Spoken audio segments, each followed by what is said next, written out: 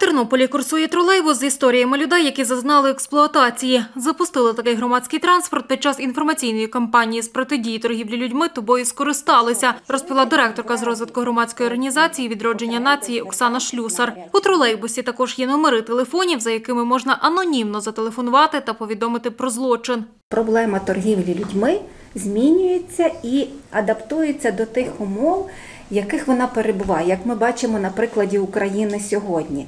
І саме інформаційна кампанія тобою скористалася, яка у вигляді брендованого транспорту інформує людей, вона не акцентується на визначенні торгівлі людьми, а саме на травматичному досвіді тих людей, які мали такий досвід, який був ними пережитий, і бачачи ці картинки, історії, написи, люди будуть звертатися за допомогою. За півроку громадська організація відродження нації надала допомогу 252 людям, які зазнали насильства. Це психологічна, юридична та медична допомога. Начальник відділу міграційної поліції області Олександр Буняк каже: за 2023 рік міжнародна організація з міграції в Україні виявила та надала допомогу 374 особам, які вціліли від торгівлі людьми. З них 23% – це переселенці. Ще 663 людини зазнали трудової експлуатації. Статус постраждалих від торгівлі людьми в Україні мають 92 людини.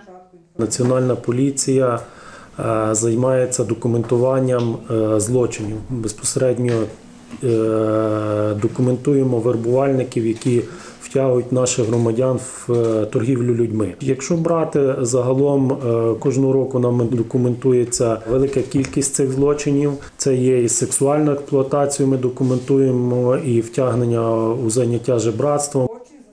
Інформаційна кампанія з протидії торгівлі людьми тобою скористалися стартувала в 10 обласних центрах України і триватиме півроку. Це міста, які прийняли велику кількість внутрішньо переміщених осіб. Мета акції попередження торгівлі людьми та популяризація правил безпеки під час міграції. Ініціатори представництво міжнародної організації з міграції спільно з всеукраїнською коаліцією громадських організацій з протидії торгівлі людьми.